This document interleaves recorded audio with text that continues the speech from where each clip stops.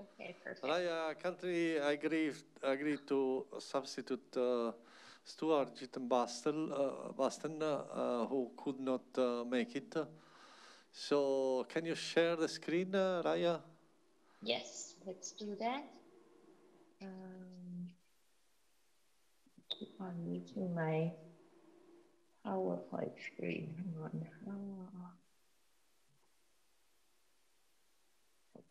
Sorry, you should think with screen opening.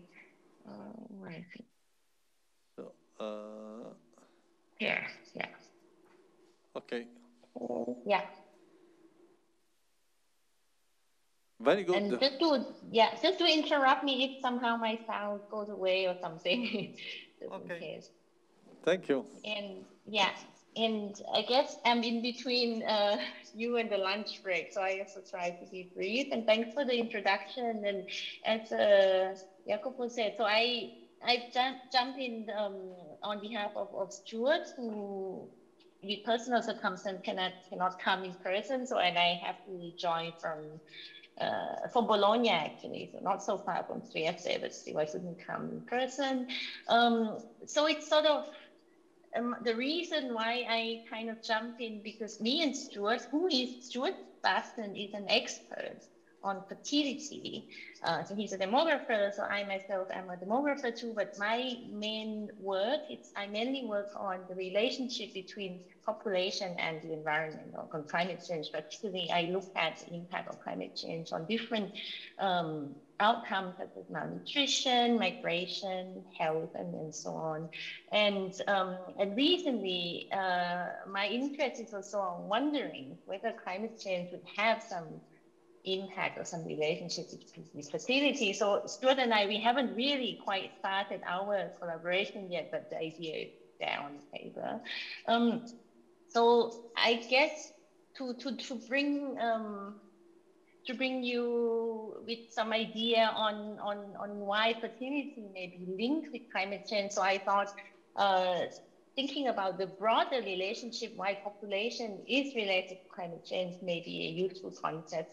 So um, in this figure, as you can see, so from the left-hand side, it's about how human activities, how our production and consumption, the way we use transportation, the way we consume food, contribute to greenhouse gas emissions and, and then to global warming or climate change. So that's one relationship. So pretty much people tend to talk about uh, population size or sometimes the, differences within the population and how composition, distribution, and how that affect climate change on the one side.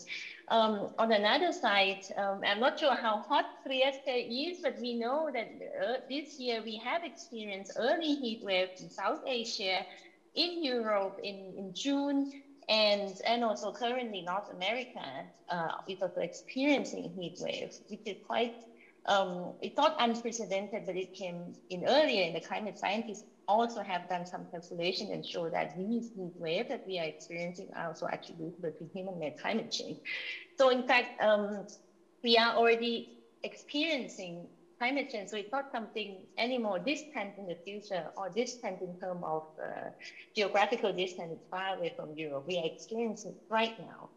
Um, so one could also already started observing the impact of climate change on different type of on health and well-being and different types of outcomes.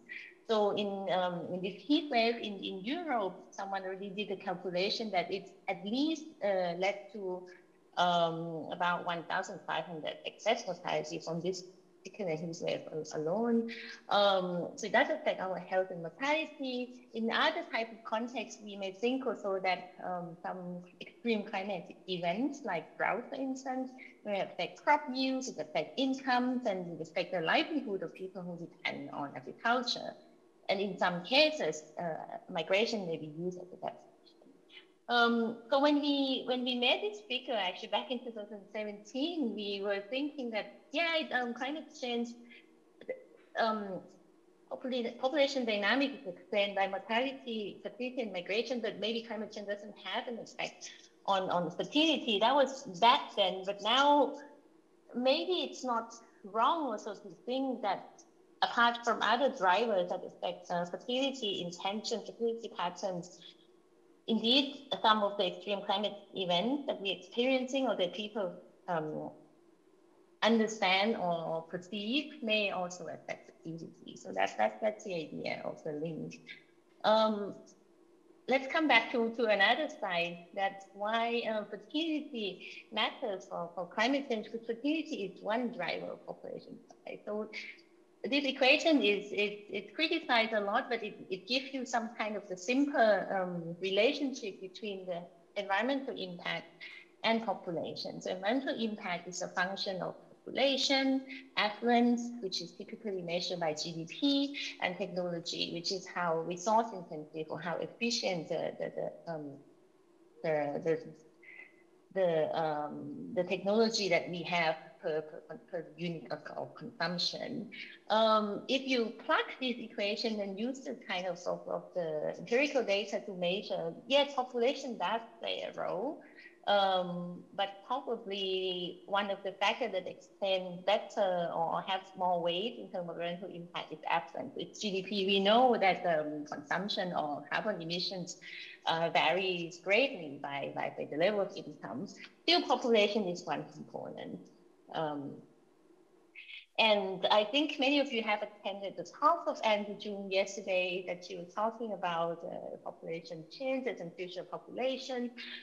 Um, so since population plays a role, though maybe not as much as GDP in terms of the environmental impact, but still how many people are there going to be in the future would also, to a certain extent, determine uh, the human impact on climate change. So how, how climate change scenarios would unfold would to a certain extent depend also on how many people are we going to have and also who are we going to have in the in the population.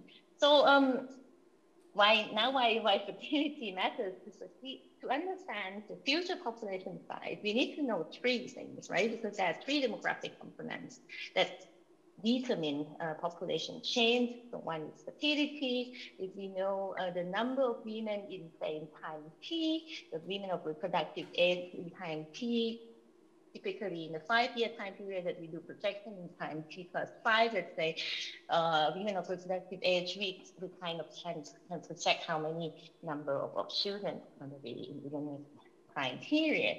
A similar thing, um, mortality is also to understand population change. So people were born, people die. It's, uh, it's also another component. It's important for understanding population change. And of course, migration, people who move in and move out uh, uh, uh, in a certain phase or certain country. So typically, um, so we need to understand three things to understand future population.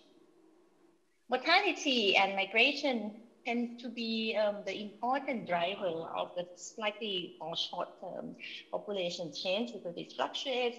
Uh, one good example is mortality, for instance.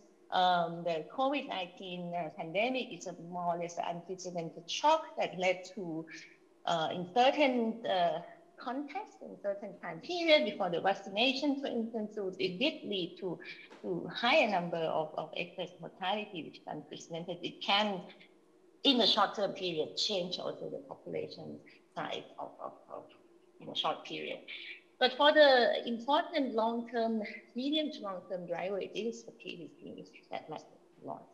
And um, that brings back into the idea of why fertility, fertility is one of the key driver of the future populations and um, how many people are we going to have in the future. Linking it with the concept of environment or resources. So um, how many people are going to be, if uh, people may, may grow, may increase um, exponentially, but we have the limit in terms of the land that we have, we have the limit in terms of water that we have, or the, the amount of food that we have. So the, the idea that people started talking about is how many people, how many are going to be, and is there a limit in, in, in the space or the capacity that the Earth can support population. So that's sort of now when when um, non-demographers talk about uh, population and climate change, it's sort of the idea of the the Malthus um, uh, idea concept of exponential population growth, but food doesn't grow um, as fast as the population grows. Sort of, it, it sort of come back in the literature right now, but tend to tend to come out from, from non-demographer when we, when people talk about the relationship between population and climate change. Um, so sort of, uh, and, and as I was saying, that sustainability is one key medium to long-term driver of future population. So the idea of um, thinking about overpopulation, population control, family planning, um, it, it was unpopular, but it sort of started coming back again on the on the agenda, on the sustainable development agenda as well. Um, now that that that that the impact of climate change has become more severe. Um, and I think you you many of you have, have attended Anne's talk also yesterday. Uh, I think her talk focused a bit more on population aging, so sort of so we we also when we think about global population, so we're talking about the world of on the one hand, that's one side of, of the societies which probably um, are trying to deal with low fertility, population aging, or maybe declining number of population on the one hand.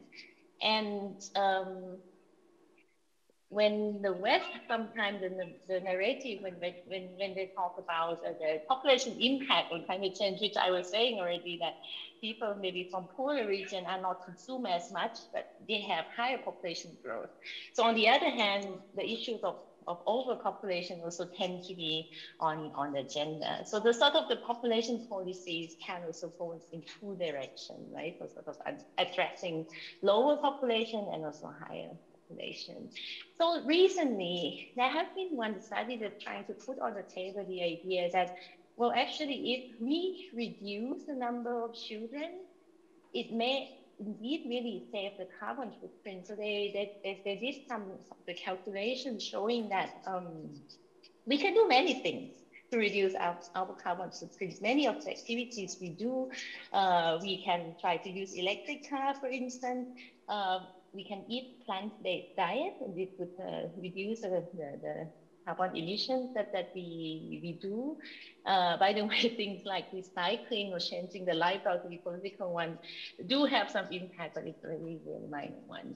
But they have shown that um, having one fewer child, so one child less, so this is based on the consumption of people in uh, high income countries, or one, one child would also have higher consumption as well. But anyway, uh, having one fewer child would contribute to reducing about 60 carbon metric ton per year. And just to give you an idea what does uh, one carbon metric ton uh, refers to, so one carbon metric ton is equivalent of 2.5 um, flights from Rome to Amsterdam. So saving 60, that's, that, that's a lot. And that's per year, that's annual one. So with this study coming out, um, it's sort of, as I was saying, that the idea of uh, in, in, in the world of demography, the, the talk about population control, population planning, was kind of popular in the 70s, 60s, 70s, and became less popular in the 90s, particularly after the um, International Conference on Population Development in Cairo. The type of narrative when we when we talk about uh, family planning uh, or reproductive health, it's more about that um, uh, empowerment of people to achieve the number of fertility that, that people want. Um, so sort of giving access, giving empowerment, education, even education or access to contraception, but, but not to go and then coerce the family uh, limitation of planning. So, so in a way, the message, if, if we send out the message and saying that a high population, if we reduce, we reduce carbon emission, we save climate change, it can be dangerous because it cannot come back again to the, the type of practice that, that was done back in the in terms of uh, reproductive life in the, in the 70s and 80s. Um, so now the question that one poses, and particularly this is posed by, by, by Stuart, because he, he works a lot on fertility intention, is um, can climate change have a kind of bottom-up effect in childbearing, uh, meaning that um, it's not that the policy is to just to limit the population, but maybe um, the experience or the perception about the uh, the danger of climate change, for instance, can indeed can affect the reproductive decision making. Um, so some of you may have seen, so back in 2019, and, and this movement, there's a movement called BirthStrike that is still ongoing, which is kind of uh, kind of the sub uh, variation of the Extinction Rebellion. So there's a group of women actually led by um, uh, some person in the UK, uh, kind kind of uh, establishing a movement of not wanting to have kids or children due to ecological crisis.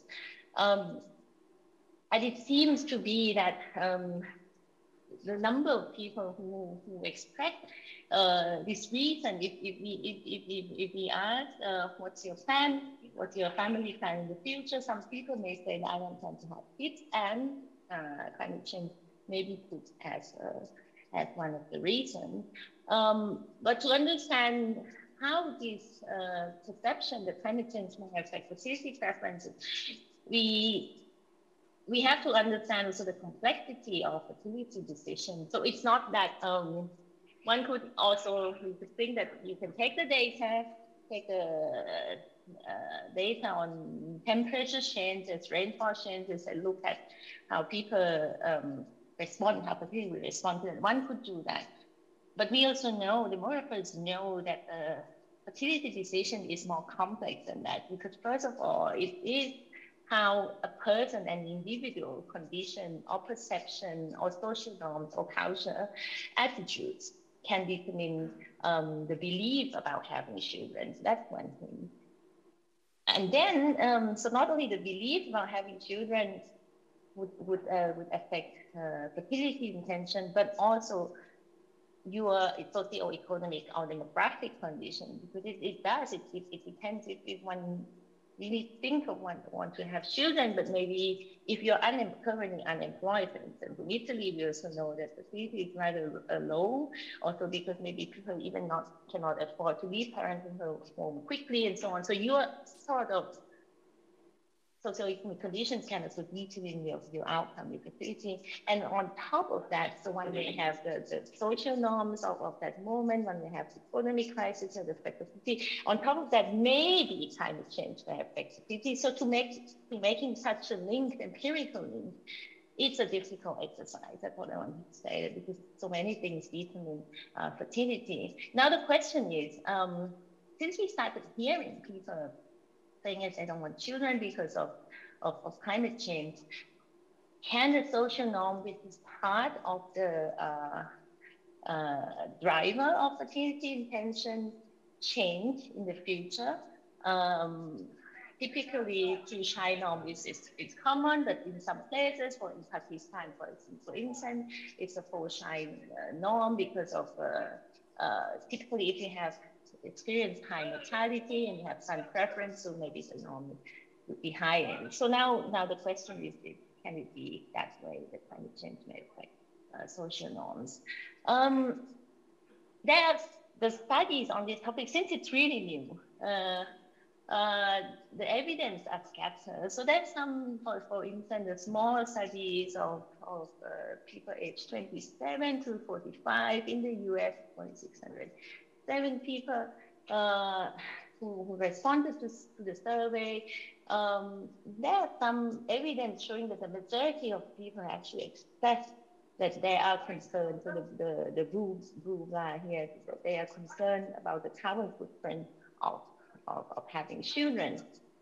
And in particular, in, in, in, in the orange bar, people express that they are particularly concerned about that climate impact that children will experience. So we tried it together what kind of studies that has done in, in, in this way. But this is questions that, that, are, that, that, that ask to people about their perception about maybe the concern, the environmental concern, what would that be their fertility intention, the link with children. So it's not really measuring the actual number of children that people actually have. So it's only about the perception.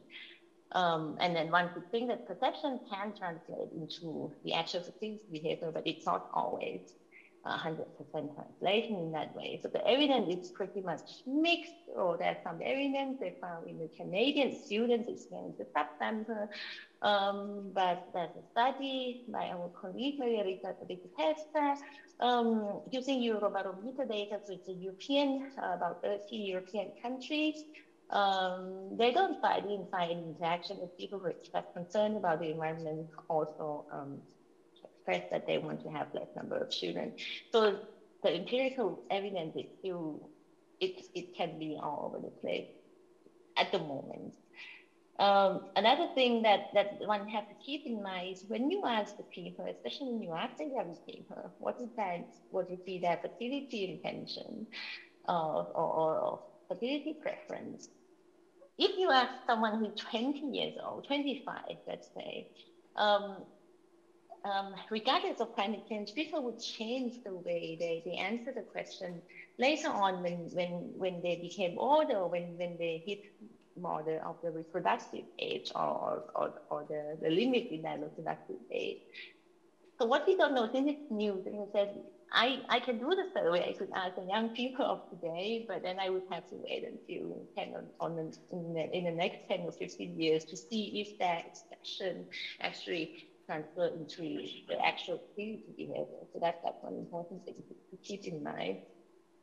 I was showing more of the evidence from the low fertility type of countries, but there's a very recent study by a PhD student actually that looked at sub-Saharan African countries.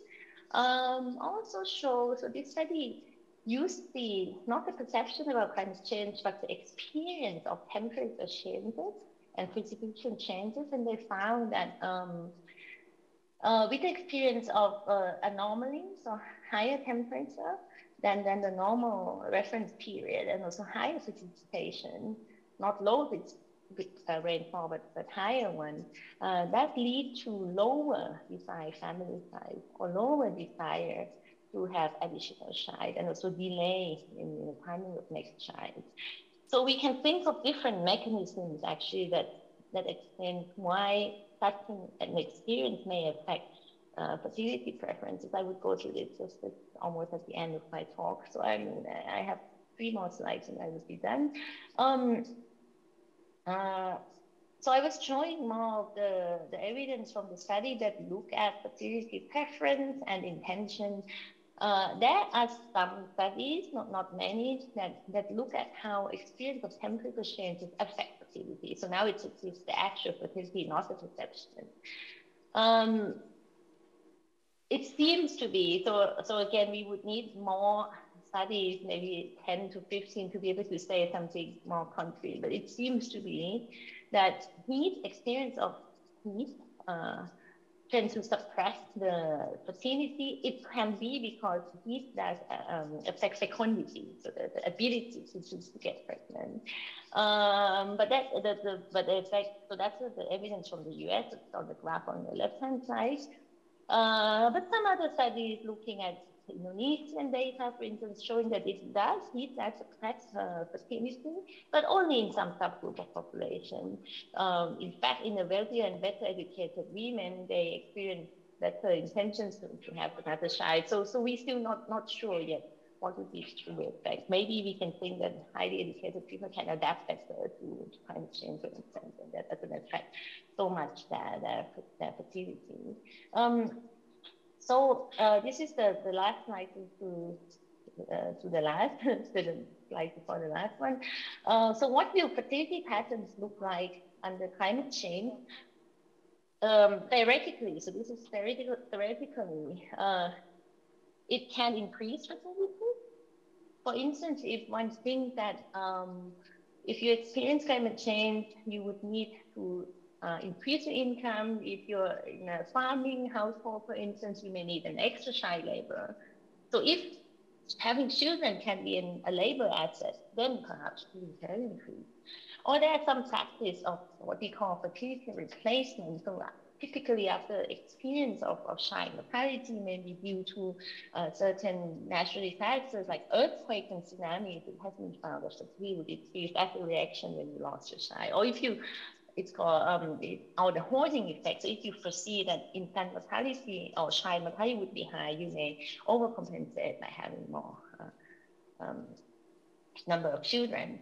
I kind of think, uh, so it's still the work that we still have to, to start tracking the data. I think that uh, at least in, in the next five to 10 years, there are also other changes that affect fertility, climate change may have negative consequences on fertility based on two kind of uh, channels.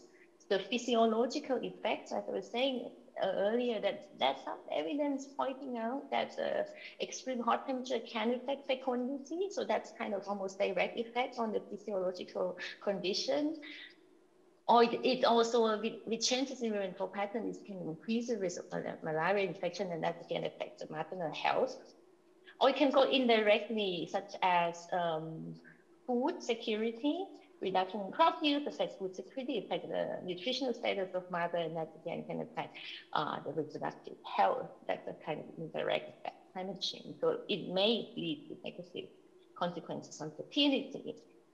And then we have the BirthStrike type of uh, arguments, the psychosocial effect, the concerns about climate change in two sides, right? So you may not want to have children because you're concerned about the human impact on the global climate system emissions. Or you're concerned about not wanting to bring a child into the world which is full of uncertainties and they may not have such a beautiful uh, uh, beautiful future so so one may not want to bring bring a child out into the world in that direction so it can have such an effect as well so i'm going to stop here that as i said that there's many things to be done and i thought um, i just started my ERC project that look at the impact of climate change on population dynamics, because I want to understand, sort of linking a bit with Anne's work as well, so to understand how future population would look like.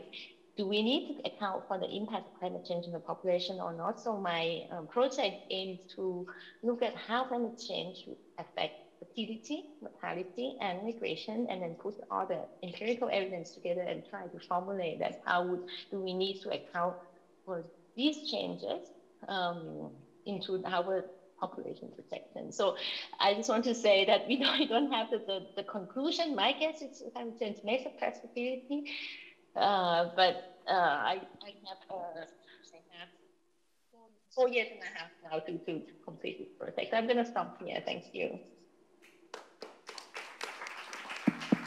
I can stop sharing the okay. screen as well. So, do you have questions? Um, so, I think uh, lunch uh, is uh, approaching. so, uh, yes, San has a question.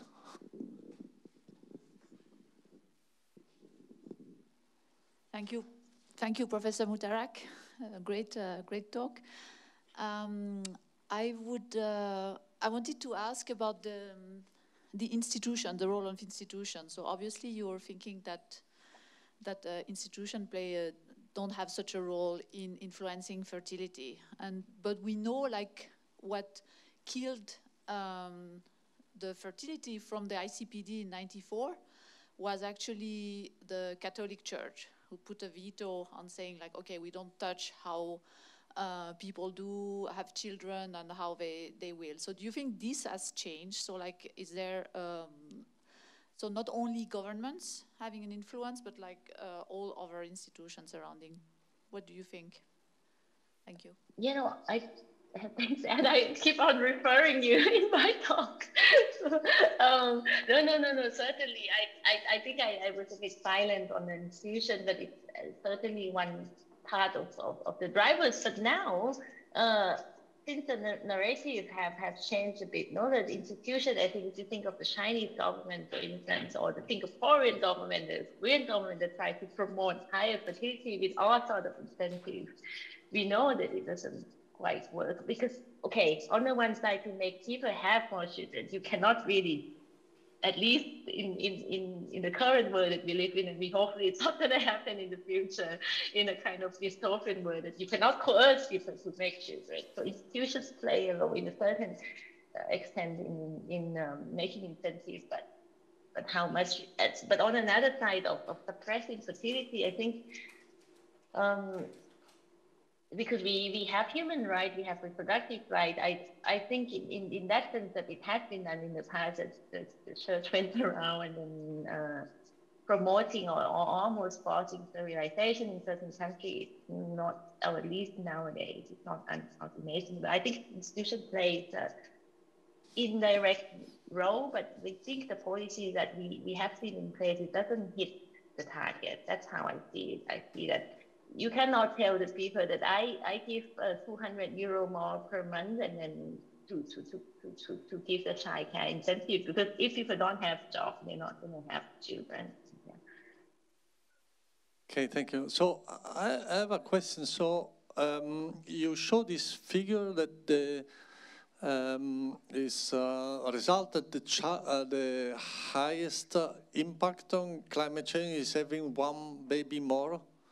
Uh, so I, I, was wondering uh, whether this refers to developed countries or to developing countries, or it's a uniform effect. So what the, what what that paper used is they um, exactly refer to to so they did a kind of a systematic literature review, taking the um, the evidence, so they quantify how much the carbon footprint is, is, is uh, that, that you can calculate, but it's only developed countries. And if you read the paper, they also break down to different developed countries. And in, in that sense, the, the US, if because they're living in the US and not having a child would even reduce uh, more of the carbon emission compared to a person in Japan because consumption of varies in that way. Oh, okay. Uh, what do you expect uh, the result would be in uh, developing uh, in developing countries? Um, I I don't have the number on the top of my head, which I should have. Uh, I think that the total emissions now is from from Africa is probably in the, in the global emission, probably Africa contributes what about five percent or, or at most maybe ten percent. So so surely it's going to be lower. Now the some people also argue that yeah, you, demographers tend to say that maybe population size only is not the only problem, but we have also taken into account that Africa is also take the wall out because that that interrupt everything because of getting also at least in the trajectory of getting richer and consumption will change. But still, one could also think that if consumption pattern would change in lower income countries, probably it's unlikely that, that everyone's gonna have a big car, washing machine, dishwasher, like, like the way we have. So I still think that um, we could still be lower in, in many contexts. Yeah. And, and hopefully, and I think it is urgent that we, we really need to change the way we consume renewable energy, but also other things that the consumption patterns change. Thank you. So I see no other questions. So thank you very much again, Raya, uh, for this very interesting talk.